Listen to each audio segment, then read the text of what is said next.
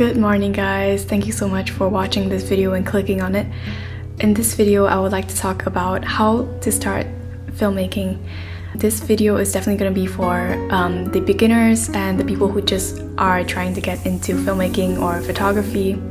I did get a lot a lot of questions on how to start filmmaking from zero, so this is what this video is going to be all about.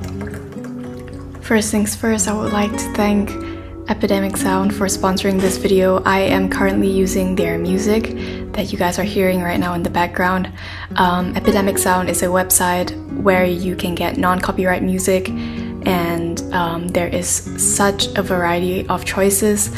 You guys can use it for all of your social media platforms without getting copyright claimed, like on YouTube, TikTok, or Instagram. But for those who do not currently have a budget for music, I will be getting into that further on in this video.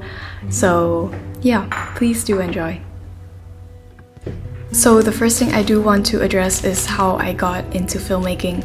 I started photography when I was at a really young age. I was 12 when I started photography as a small little hobby and I want to thank my uncle and my dad for teaching me all the basics that I know today and all of the tricks that I know today.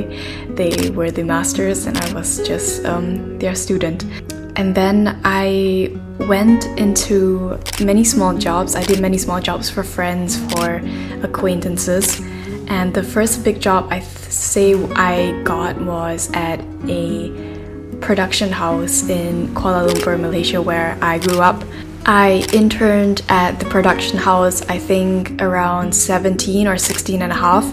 They focused on doing a lot of commercials, and I was lucky enough to be able to take the BTS or the behind the scenes of the whole shoots.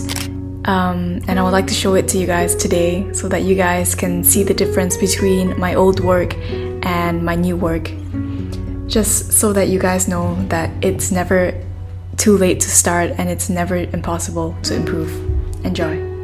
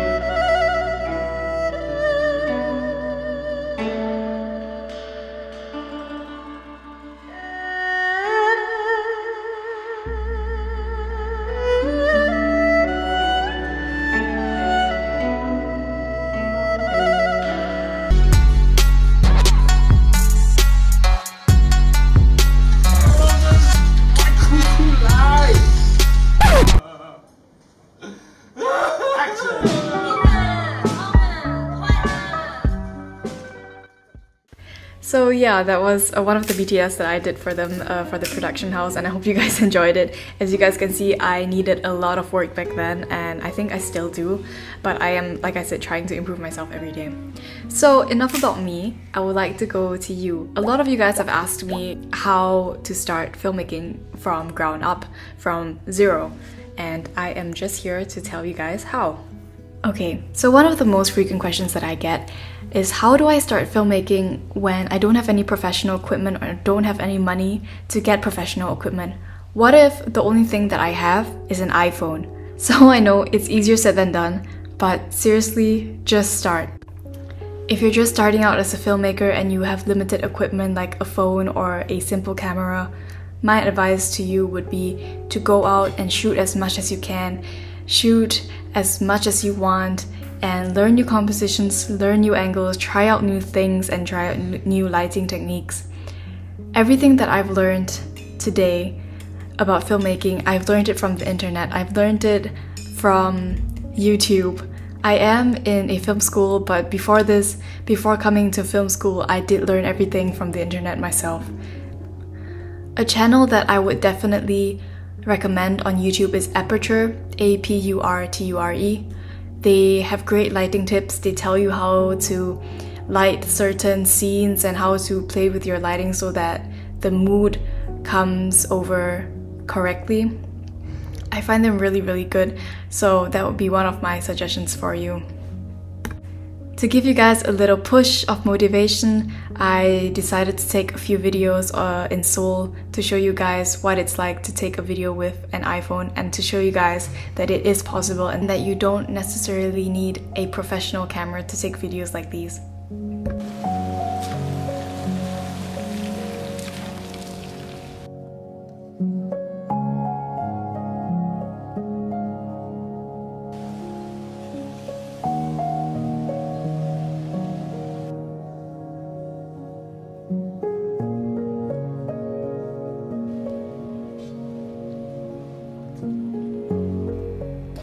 So now that you got your basics down, the other question would be how do I get into the film industry?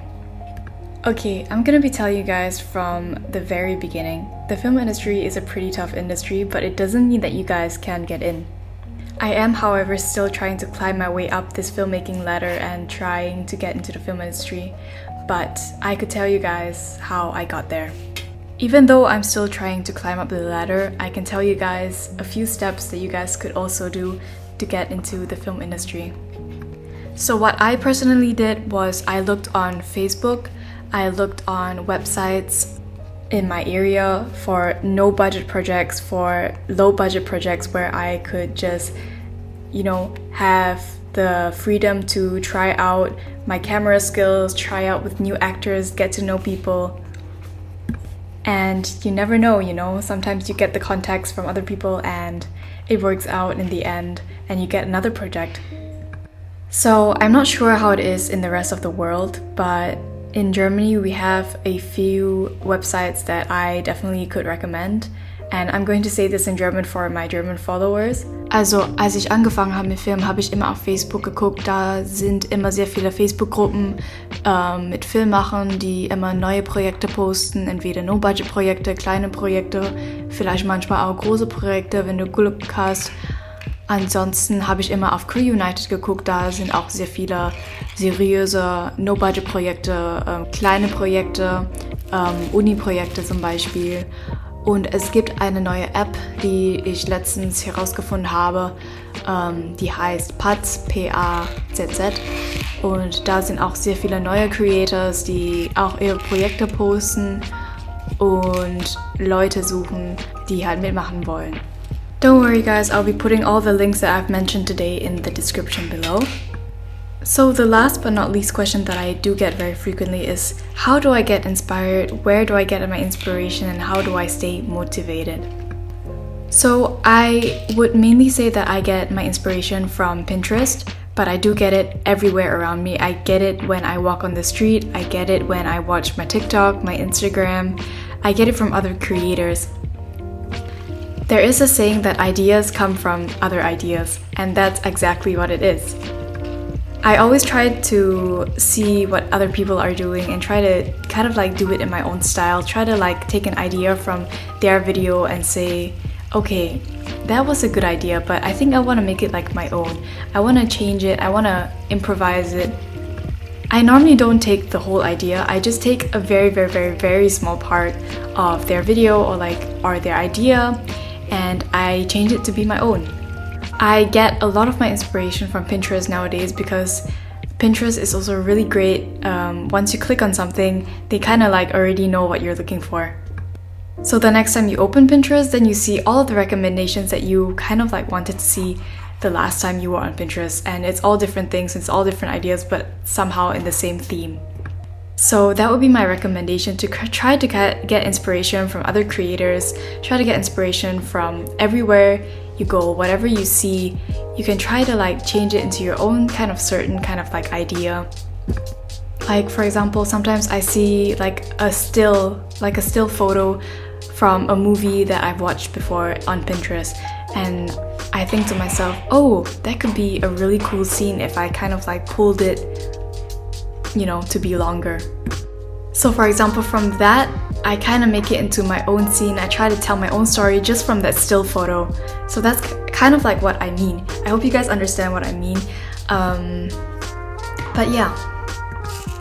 And I try to stay motivated with the inspiration from other people and from other creators. That's how I stay motivated. And I think to myself, if I don't pursue my passion, then there is nothing else that I kind of want to do in this world than this. Obviously, I do get tired sometimes. I do get lazy sometimes, like everyone does. It's normal. Guys, it's really normal, so don't belittle yourself for it. Don't blame yourself for it. It's normal. Every creator goes through an art block, a creative block. They go through this phase where they're just tired and a bit burnt out. But that's normal, guys. Just know that that is normal and please do not put yourself down if you guys think that that's not normal. So, what I normally do when I feel a bit tired, I normally take a break for one or two days. It can even be a three days or a week. I take a break from whatever I'm doing, I let it sit, I let it settle, and when I come back, I feel much better, I feel more creative, I feel more innovative, and I think I would recommend the same to you guys. So guys, I really hope this video helped you out and um, thank you guys so much for watching this video until the very end. I hope to see you guys in my next video. I'll probably be making a part 2 on how to start filmmaking and um, giving you guys more tips. Until next time.